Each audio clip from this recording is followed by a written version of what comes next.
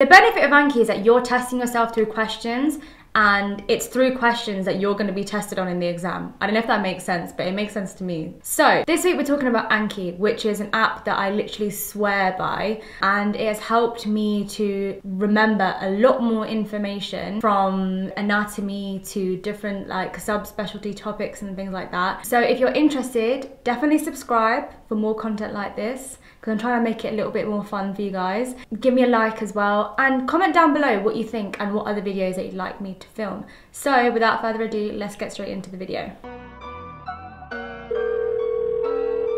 We're sorry, the number you have dialed is not in service at this time. I don't know if you guys already know this, but medical school is a madness because there is so much information that you have to learn and you have to learn it for your exams and you can't do it by cramming. Like that's just not going to happen. You could probably cram something the day before your exams but the chance of you actually remembering it is going to be very very small. So this is why i use anki because it helps me to train my brain like i'm doing like lifting and doing reps for my brain muscles if that okay there's no muscles in your brain but you know what i mean. And it helps me to stay consistent on what i'm learning and track what I'm not sure about in terms of the content and what I need to work on as well. And another thing is I realize that I'm a lazy learner. Like I don't want anything to be too complex when I learn it and I want to know that everything is in one place. And that's the good thing about Anki flashcards. But I'm a simple girl, so I don't want any kind of complexity when I'm revising. I want to make it short and efficient. You don't have to use Anki. You can write a list of questions on a Google Docs document and test yourself every day. I used to do that, but I didn't find that it was very efficient because I wasn't able to shuffle the questions or the order in which I was asking myself the questions. So that's why I went for Anki. One important thing is that when you are making flashcards, you have to commit to it. It's a bit like a relationship, you can't get out of it. And when you make that flashcard, you've got to make sure that you are reviewing that flashcard either the next day or a few days later or in a week's time because you don't want to forget any of the information that you have learned. And you have to be realistic as well. Like, you can't expect yourself to remember a whole piece of information from a specific lecture the following week. The key thing is with Anki is to do reps every day. That's the way. Whenever someone asks me, Gaya, how do you rise? I tell them you've just got to do reps every day so you can get those abs in your brain um, by the end of the semester. Sounds silly, but it's just about brain training. You just got to set aside one hour to revise old content every single day. And the more you do it, the quicker you'll be able to extract that piece of um, information and it will just be easier for you in the long run. There's this whole thing that Ali Abdaal talks about in one of his videos I can't remember the title of, but I'll link it down in the description box. And it's about the forgetting curve. And it basically says that the more reps you make, so the more times that you review the information, the more likely you're going to remember it. And that's something that's always stuck with me since I watched that video because I realized that you can't just learn this stuff last minute. It's not like your Spanish GCSE writing where you can just memorize it the day before and then you'll be fine for the exam. It's it's nothing like that. So the key point of this video is how I actually write my questions. How am I breaking down a lecture to enhance my understanding so that when I review it, it just makes my life way easier. My Anki flashcards, they range from short questions where it's just like one word, two word answers to longer ones where I'm describing maybe the pathophysiology of something. I find this is really important because the short questions give you a little dose of that topic that you're talking about, whereas the longer question forces you to think about the step-by-step -step process to get to the answer. So sometimes when I'm writing my questions, I try and think like an examiner. What could I be tested on? And if you're not sure about how you could possibly be tested, the key thing is to maybe go on to your university resources page. We have something called Blackboard at Leicester. This might vary from university to university, and you can have a look at some of the questions they might have uploaded as a PDF and look at the style of the question and analyze it. Then you can tailor your questions to that. Another thing, which I spoke about in one of my Surviving Your First and Second Year at Medical School video, that was a really long title, is if you're struggling to figure out what questions to even write, look at your learning objective. The benefit of Anki is that you're testing yourself through questions and it's through questions that you're going to be tested on in the exam. I don't know if that makes sense, but it makes sense to me.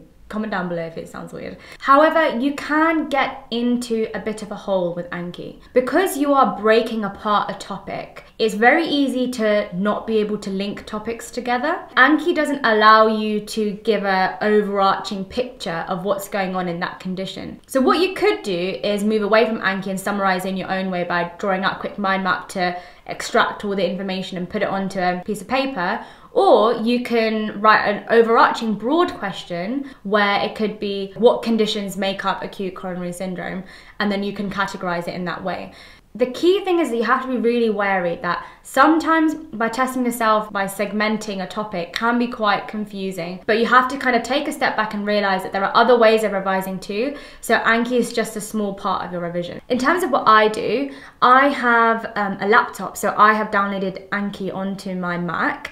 Um, but before i bought my macbook last year um, i actually had to buy the app for 20 quid off the Apple Store. Please don't ask me why it's that expensive, but for some reason it's 20 quid.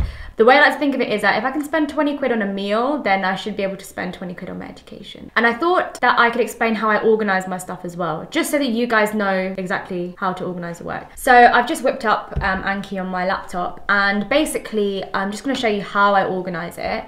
So as you can see, I've got year one, got year two, got year three. Um, and so CPT is the pharmacology stuff, so I've put that at the top because I always need to be reviewing that. Year 1.1 is year one, semester one. Year 1.2 is year one, semester two. Year 2.1 is basically semester three for us and semester four as well. So I've broken it down into different semesters just to make it easier. And then below that is the different modules that we have in each semester. So we've got body logistics, HEP, MCBG, PASS, the year one Eastern ones, semester ones are a bit random, and then it gets into the nitty gritty. So cardiovascular, infection, MEH, MSK, pathology. And obviously, this is going to vary from uni to uni, so don't go with what I've written, go with the modules that you have for that semester. So, I quite like this because then you can subdivide it. So, this is exciting. Um, if I pick out like head and neck, for example, I have broken it down into each lecture. So for some reason, numbering on Anki is a bit funny. So instead of doing lecture one, lecture two, I did lecture A, lecture B, lecture C, and then because A.1 was the first lecture of that day and A.2 is the second lecture. You can figure out your own way, but this is what worked for me so that it was chronological. Um, so within that, I wrote the title of the lecture. So this one is General Organization of the Head and Neck and all the questions have been taken from the lecture that we were given. So whether it's do with anatomy, whether it's pathophysiology, I've written as much as I can to help me summarize the whole lecture in a question format. I feel like such a nerd making a video about this, but the only reason is is because it honestly has changed the way I revise and has made it so much easier. Like I could be sitting watching Netflix in the background, like on a very, very low volume so I don't get distracted. And I can be sitting on my sofa and I can whip out my iPad, for example, and do my flashcards on there. Or if I'm sitting at my desk like I am now, I can just type away as well. Or even better is that when I'm out and about, so for example, when I'm on placement, if there isn't anything exciting happening on the ward, I just go back to the doctor's office and I just sit on my phone, but I've got the Anki flashcard app there as well and because everything syncs, I can spend maybe like half an hour learning about some form of medication so that I'm not wasting my time. Because it, especially when you're on placement, it's very easy to find yourself kind of sitting around doing nothing. So I always find that if I get some work done during my placement hours, when I get back home, I can just chill and watch more Netflix like I already do. So I hope you enjoy this video. And in addition to that, I hope it's maybe motivated some of you to just get up and revise if you've been sitting all day doing nothing. If you want other videos or have more questions about how I revise and stuff, um, do let me know. And one thing that I want to say, like a massive disclaimer, is like I don't sit and revise all the time. It's only when I have a burst of energy I'm, i sit and try and do some kind of useful revision to get those reps in my brain. I think that brings us to the end of the video. Give it a thumbs up, give it a subscribe, give it a share, give it a comment, give it everything, show all your love, and um, I will see you in the next video.